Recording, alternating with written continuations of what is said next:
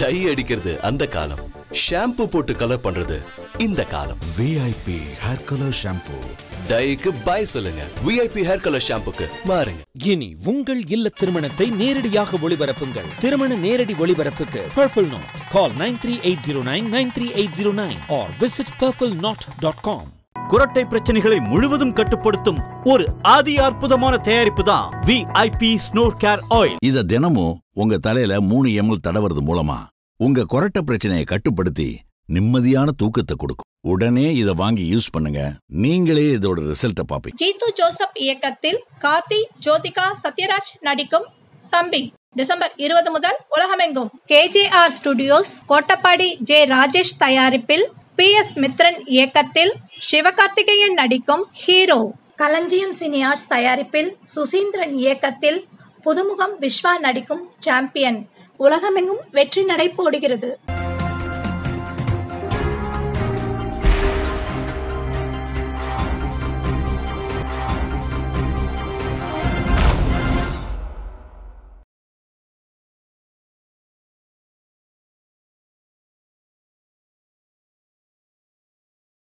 Forbes India நூறு செலிபிரிட்டிகளுடைய பட்டியலை வெளியிட்டிருக்கு.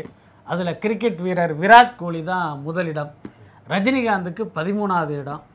விஜய்க்கு நாற்பத்தி ஏழாவது இடம். அஜித்துக்கு ஐம்பத்தி ரெண்டாவது இடம். இந்த இடத்தையெல்லாம் பார்த்த உடனே என்னமோ இவங்கெல்லாம் மக்களுக்கு நல்லது செஞ்சு அதன் மூலமாக கிடைச்ச செல்வாக்கால கிடைச்ச இடம் நினச்சிடாதீங்க. மக்கள்கிட்ட இருந்து வாங்கின காசு இருக்குல்ல அந்த காசு வருமானம். வருமானம். அதன் அடிப்படையில் பட்டியலிடப்பட்டது. இந்த எனக்கு இந்த பட்டியலே தப்பும்ப. என்ன முதலிடத்துல நித்யானந்தா தான் இருந்திருக்கு இங்கேயே அவுட்டு மொத்தமா. அங்கேயே ஆகட்டும் ஆமா அதே சமயம் இப்ப ரஜினிக்கு பார்த்தீங்கன்னா நூறு கோடி ரூபா அப்படின்னு போட்டிருக்காங்க. அவர் ஒரு படத்துக்கு வாங்குறதே நூறு கோடி ரூபா. இப்போ இந்த வருட வருமானமா நம்ம அவருடைய ரெண்டு படத்தை கணக்கில் எடுத்துக்கலாம். பேட்டை வந்து போன வருஷத்தினுடைய வருமானம். இப்போ இந்த வருஷம் பார்த்தீங்கன்னா இப்போ தர்பார் படத்தில் அவர் நடித்து முடிச்சிட்டாரு. அதுக்கு அடுத்து இப்போ சிவா படத்தில் நடிக்க ஆரம்பிச்சிட்டாரு. ஸோ இப்போ ரெண்டு படம் இந்த வருஷத்தில் அவர் நடிக்கிறதா எடுத்துக்கிட்டா அவருடைய வருமானம் வந்து இரநூறு கோடி ரூபா. ஆனால் அந்த லிஸ்ட்டில் பார்த்தீங்கன்னா அவருடைய வருமானம் நூறு கோடி ரூபாய் காட்டுது. இல்ல அது அஜித் விஜய் சம்பளமே தப்பா அதான் போட்டிருக்காங்க. தான் சொல்றேன். பாத்தீங்கன்னா விஜய் சம்பளம் முப்பது கோடியா? அவருடைய இடம் வந்து நாற்பத்தி ஏழாம் அதே சமயம் அஜித் சம்பளம் நாற்பது கோடி ஐம்பது லட்சமா? அவருக்கான இடம் பாத்தீங்கன்னா ஐம்பத்தி ரெண்டா அப்ப விஜய்க்கு முன்னாடியில் அவர் இருந்திருக்கணும். அதான் மொத்தத்துல அந்த லிஸ்ட்டை பார்த்தாலே காமெடியா இருக்கு. வருமான வரித்துறையில் இங்கே எவ்வளோ அமௌண்ட் கட்டுறாங்களோ அதன் அடிப்படையில் எடுக்கப்பட்டதாக இருக்கலாம். ஸோ அப்போ பிளாக்லாம் கணக்குல வரலைங்கிறியா அது எப்படி வரும்? தர்பார் ட்ரெய்லர் ரிலீஸ் ஆச்சுல. இருபது மணி நேரத்தில் வந்து என்ன வியூ போயிருக்கு அப்படின்னு கணக்கு போட்டால் எனக்கே ஆச்சரியமாக இருக்குது தர்பார் படத்தினுடைய ஹிந்தி ட்ரெய்லர் இருக்குல்ல பதினோரு மில்லியன் பேர் பார்த்துருக்காங்க. தமிழ் ட்ரெய்லர் பார்த்தீங்கன்னா ஏழு மில்லியன் பேர் பார்த்துருக்காங்க. தெலுங்கு ட்ரெய்லர் பார்த்தீங்கன்னா டூ பாயிண்ட் சிக்ஸ் மில்லியன் பேர் பார்த்துருக்காங்க. இதை எப்படி க எடுத்துக்கிறதுனே தெரியலையே. இல்லையே நீங்கள் சொல்கிற பார்த்தா ஒரு ஏரியாவில் தான் ரொம்ப ஃபேமஸாக இருக்கார் போல் இருக்குது. ஆமாம் ஹிந்தியில் வந்து பார்த்தா ஒரு பெரிய ரெஸ்பான்ஸ் இருக்கிறது இதன் மூலம் நமக்கு தெரியுது. ஆனால் என்னென்னா ஹிந்தி வெர்ஷனை இவங்க ரிலையன்ஸ் கிட்ட வித்துட்டாங்க. அதனால் ஒருவேளை ஹிந்தி தர்பார் வந்து ஒரு மிகப்பெரிய வெற்றி அடைஞ்சாலும் வந்து கல்லா கட்ட போகிறது லைக்கா கிடையாது. ரிலையன்ஸு. சரி. ஆனா நல்ல புள்ளி வரும்னு சொன்னீங்க. நான் நாட்டு மக்களுக்கு தெரியாத ஒரு விஷயத்த சொல்றேன். சரி. இப்ப ரஜினியும் சிவாவும் இணைகிற படத்துல சரி. ரஜினிக்கு ரெண்டு பொண்டாட்டியாம் ஐயோயோ அப்படியா? ஆமா. அந்த குஷ்பு மீனா. ஆமா. ரெண்டு ரெண்டு பேருமே பேருமே ரஜினியோட பேர் ஏங்க, என்னங்க கொஞ்ச நாளைக்கு முன்னாடி யாரோ ஒருத்தர் தான் ஜோடின்னு கேள்விப்பட்டேன் ஆமாங்க. நமக்கே வந்து ஒரு நண்பர் சொன்னாரு. அதுல ஒருத்தர் வந்து பிரகாஷ் ராஜுக்கு ஜோடி அப்படின்னாரு. நீங்க இவ்வளவு பெரிய குண்டை சர்வசாதாரணமா தூக்கி போறீங்க பெரிய ஆபத்து இருக்கு. இப்போ ரசிகர்கள் என்னன்னா ஒரு பெரிய ஹீரோவை எப்படி வந்து அவங்க மேல ஈடுபாடு காமிக்கிறாங்க? திரையில அவர் எப்படி வராரோ அதை பொறுத்து தானே காமிக்கிறாங்க. திரையில அவர் வள்ளலா வந்தாருன்னா எப்போ அள்ளி கொடுக்குற ஒரு அவர் அப்படிம்பாங்க. திரையில கஞ்சனா வந்தா மகா கஞ்சம்பா அப்படிம்பாங்க. இப்போ ரெண்டு பொண்டாட்டியா வேற வந்திருக்கிறாரு. இல்ல, சே, சே, சே. ரஜினி ஏற்கனவே ரெண்டு பொண்டாட்டிக்காரனால நடிச்சிருக்காரு. வீரா படம். இது வீரா பார்ட் டூ இல்லைல்ல? அது அப்படி இல்லாம இருந்தா சரி. இல்லைங்க தேர்தல் நெருங்கி வர்ற நேரமா இருக்கு.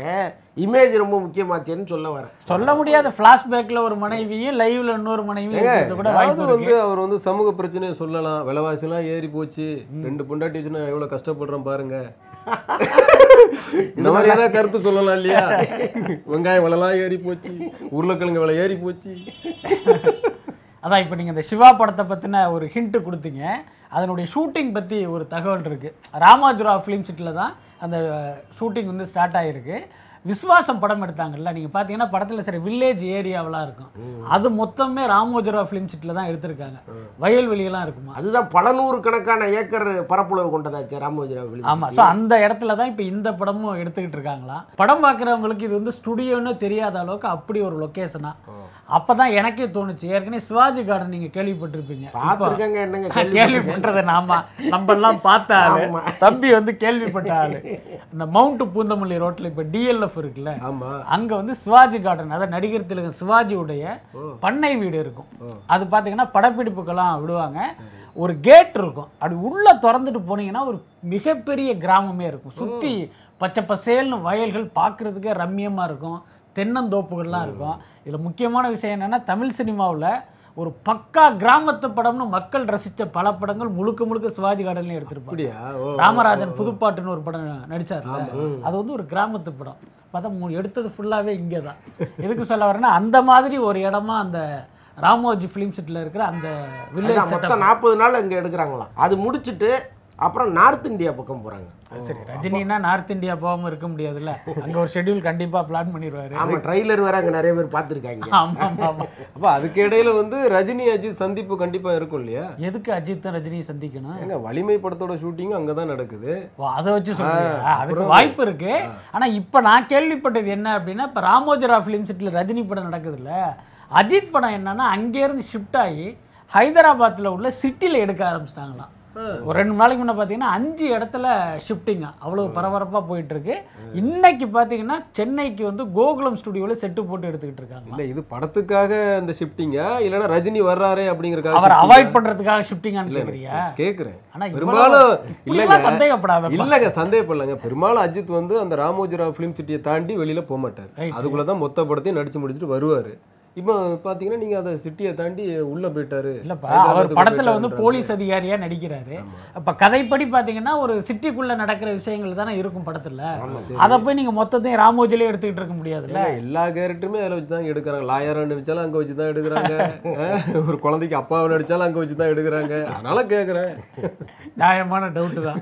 பொன்னியின் செல்வன் படத்துல வைரமுத்து இல்லை அப்படிங்கிற தகவலை வந்து நம்ம சில மாதங்களுக்கு முன்னாடியே சொல்லிட்டோம் ஆஹ் அன்னைக்கு அரசல் புரசலாக அப்படி வெளியில் வந்த செய்தி இன்னைக்கு கொஞ்சம் அதிகாரப்பூர்வமாகவே ஏரியாக்களில் நடமாட ஆரம்பிச்சிடுச்சு ஆஹ் என்ன காரணம் அப்படின்னு கேட்டோம்னா ஏஆர் ரஹ்மான் வந்து வைரமுத்து மேலே அண்மையில் நடந்த சில சர்ச்சைகள்லாம் மனசில் வச்சுக்கிட்டு மீ டூ மீட்டு பிரச்சனை. அதனால் அவர் வேண்டாம் அப்படிங்கிற முடிவுக்கு ரஹ்மான் வந்தாராம். அவரே மணிரத்னத்திட்ட சொல்லி கன்வின்ஸ் பண்ணதாகவும் ஒரு தகவல் இருக்குது இருபத்தேழு வருஷமாக இணைந்த கூட்டணி அது. அதானே? திடீர்னு அந்த கூட்டணி பிரேக் ஆனதில் இண்டஸ்ட்ரியில் பல பேருக்கு அதிர்ச்சி. இப்போ வைரமுத்து இடத்த நிரப்புறதுக்கு யார் அப்படிங்கிறது ஒரு பெரிய கேள்வியாக அதான் இருக்குது இப்பதான் ஏகப்பட்ட இளம் கவிஞர்கள் இளம். கவிஞர்கள் நிறைய பேர் இருக்காங்கங்க. பொன்னியின் செல்வன்கிறது ஒரு பெரிய சரித்திர படம் அது. அதில் வந்து வைரமுத்து மாதிரியான ஆளுமைகள் எழுதும்போது தான் அது இன்னும் அழகு பெறும் அந்த படம். அப்படி இருக்கும்போது வைரமுத்து இல்லையேங்கிற கவலை வந்து பொதுவாகவே சினிமா ரசிகர்களுக்கு இருக்கும் இல்லையா? இப்போ அப்படியே அலசி பார்க்கும்போது யார் என்னங்கும்போது கபிலன் சரியா இருப்பார் அப்படிங்கிற மாதிரி ரஹ்மான் நினைச்சாராம். சரி விடுங்க வைரமுத்து எழுதலாம் என்ன? அவர் பையன் கபிலன் வைரமுத்து தானே எழுத போறாரு. இப்படி ஒரு ரசிகராங்க. கபிலன்ங்க இவர் கபிலன். கபிலன் வைரமுத்து இல்லை கபிலன். புரியுது. நல்லா ஒரு தடவை பத்து தடவை எழுதுங்க வீட்டில் இந்த உன் சமையல் சமையலறையில் அந்த பாட்டுல அவர் தானே? ரொம்ப அற்புதமான பாடல்லாம் எழுதியிருக்கிறாரு. ஊமை கவிஞர் சூரதான்னு ஒருத்தர் இருந்தார். எல்லாத்தையும் ஊமையாக சொல்லி மிரட்டுவார். அவருக்கு பிறகு மிக சரியாக அதை கையாளுறவர் கபிலன் தான். நிறைய பாடல்கள் நம்ம சொல்லிக்கிட்டே போகலாம் அவர் பாட்டெல்லாம்.